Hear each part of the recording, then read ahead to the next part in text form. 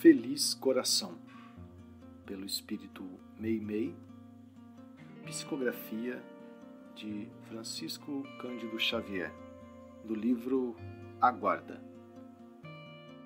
Alma fraterna, escuta. Se podes atender, mesmo imperfeitamente, à tarefa que a vida te confia, rende graças a Deus. Se alguma alfinetada te aguilhoa, se alguma prova sobrevém, auxilia, perdoa e prossegue no rumo que o caminho te aponte para o bem.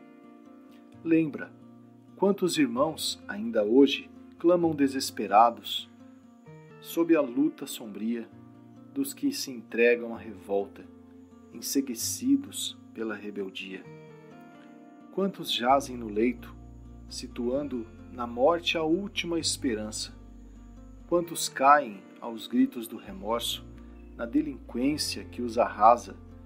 Quantos choram em vão as horas que perderam? Recorda tanta gente em pranto junto a nós, e nem pela fração de um só momento não te queixes de mágoa ou sofrimento. Ergue-te de ti mesmo e busquemos agir